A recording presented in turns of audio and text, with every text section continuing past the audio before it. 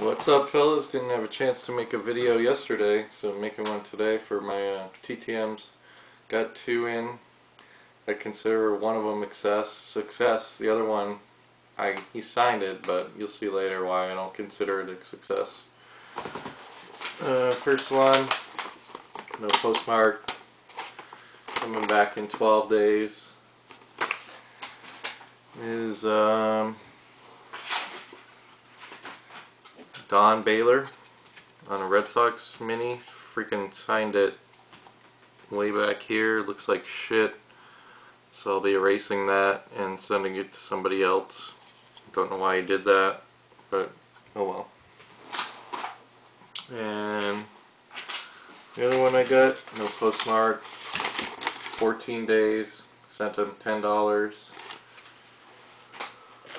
Was Roger Craig and he put three times Super Bowl champs and the years on that. Uh, that's all I got yesterday. Pretty good day.